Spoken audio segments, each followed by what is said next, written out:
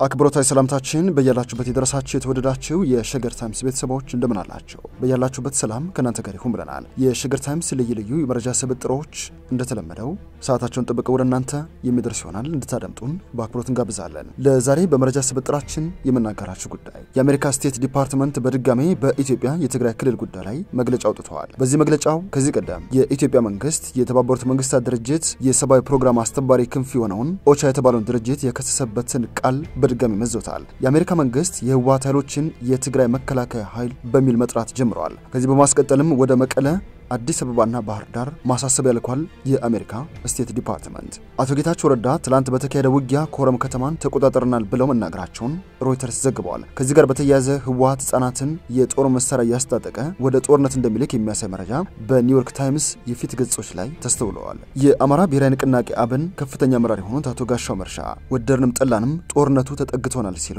በማህበራዊ ትስስር ገጻቸው ላይ ጽፈዋል። ለዚህ ደግሞ ለወጣቶችም ጥሪ አስተላልፈዋል። አቶ ጋሻው መርሻ በመጨረሻም የውሃ መስኖና ኤነርጂ ሚኒስትሩ ዶክተር ኢንጂነር ስለሺ በቀለ ከተባበሩት መንግስታት ድርጅት ዋና ጸሐፊ አንቶኒ ጉተሬስ ጋር ያደረጉትን ውይይትም በመረጃ ስብጥራችን የምናጋራችሁ ይሆናል። እንድታደምጡን በአክብሮት ጋብዘናል። በያላችሁበት ሰናይ ጊዜ ይሆንላችሁ።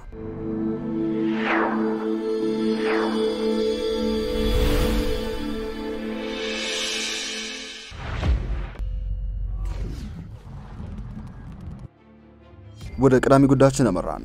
የአሜሪካ ስቴት ዲፓርትመንት በድጋሜ በኢትዮጵያ በትግራይ ክልል ወቅታዊ ጉዳይ ላይ መግለጫ አውጥተዋል። ስቴት ዲፓርትመንት ባወጣው መግለጫ የትግራይ ተዋጊ ኃይሎችን የትግራይ መከላከያ ኃይል በማለት መጥራት ጀምረዋል። ከዚህ ባለፈ ወደ አዲስ አበባ፣ መቀለና ባህር ዳርም ማስጠንቀቂያ ልከዋል። በመንግስታቱ ድርጅት የሰብአዊ ጉዳዮች አስተባባሪ ጽህፈት ቤት የሆነው ኦቻ የተሰኘው ተቋም በትግራይ ክልል ባለፉት ወራት በቆየባቸው ጊዜ የተዛቡ መረጃዎችን በማሰራጨት በኢትዮጵያ ሕዝብ ተወካዮች ምክር ቤት አሸባሪ ተብሎ የተፈረጀውን የህወሓትን ኃይል የትግራይ መከላከያ ሰራዊት በሚል በሪፖርቶቹ ይጠቅሳል በሚል ክስ ማቅረቡ ይታወሳል። የአሜሪካ ስቴት ዲፓርትመንትም በድጋሜ የትግራይ ኃይሎችን የትግራይ መከላከያ ኃይል በማለት መጥራት ጀምረዋል። በዚህ መግለጫው በወልቃይት ጠገዴ፣ ጠለምት አካባቢ የሚታዩት የግጭት ሪፖርቶች እጅጉን አሳስቦኛል ባይ ነው ስቴት ዲፓርትመንቱ። ይህ ግጭት በጦርነቱ ሳቢያ ከፍተኛ የሰብአዊ እርዳታ ለሚያስፈልጋቸው ዜጎች እርዳታ ለማቅረብ ከፍተኛ አደጋ የሚጋርጥ ሆኖ አግኝተነዋል ባይ ነው መግለጫው። የአሜሪካ ስቴት ዲፓርትመንት የትግራይ ተዋጊዎችን የትግራይ መከላከያ ኃይል ብሎ ከጠራ በኋላ እነዚህን ኃይሎች ጨምሮ የአማራ ክልል ልዩ ኃይል እንደዚሁም የሚሊሻ አባላት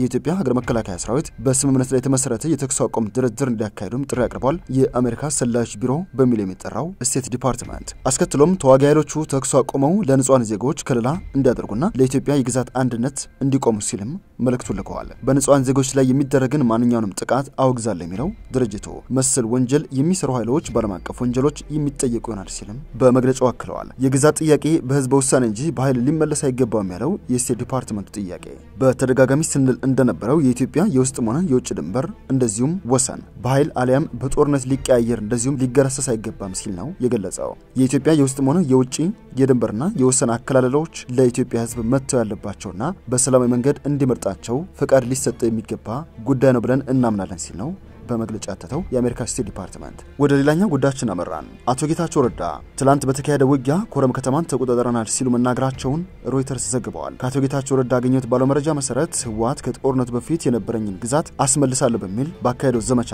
ወደ ራያ እንደዘመተና ኮረም ከተማን እንደተቆጣጠረ ነው በዘገባ ያተተው። ከመቀለ ከተማ 170 ኪሎ ሜትር ርቀት ላይ የምትገኘውና የራያ የማንነት ጥያቄ ሲነሳባት የነበረችው ኮረም ከተማ በእኛ ቁጥጥር ስር ውላለች በሚል በሳተላይት ስልክ አቶ ጌታቸው ነግረውኛል ሲል ነው ሮይተርስ የዘገበው። አቶ ጌታቸው ረዳ አክለውም በኮረም 20 ኪሎ ሜትሮች ልዩነት ላይ የምትገኘውን አላማጣ ከተማን ለመቆጣጠርም ተጨማሪ ውጊያ እናደርጋለን ማለታቸውን ነው በዘገባው የገለጸው። ለዚህ ዘገባ ሀሳብ እንዲሰጡ የተጠየቁት የኢትዮጵያ ሀገር መከላከያ ሰራዊት ቃል አቀባይ ኮሎኔል ጌትነት አዳነ እኛ የተናጠል የተኩስ አቁም አዋጅ ላይ እንገኛለን ሲሉ እንደመለሱለት ነው የሮይተርስ ዘገባ የሚያሳየው።